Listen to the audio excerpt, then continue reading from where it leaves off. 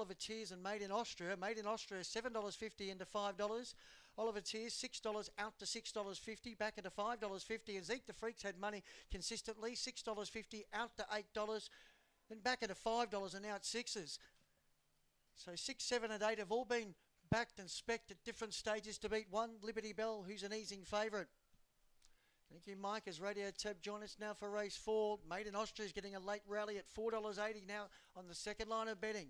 So the favourite to drift Drifter, one Liberty Bell, $2.15 fixed price with TAB as Allure rolls. Set to go race four.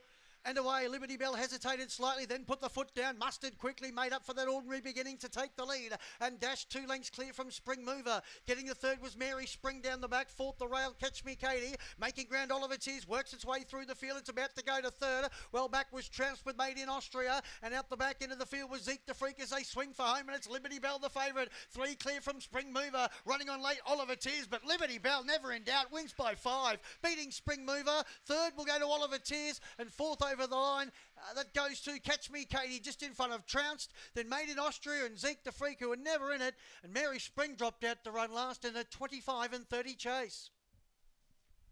Liberty Bell. It was fresh.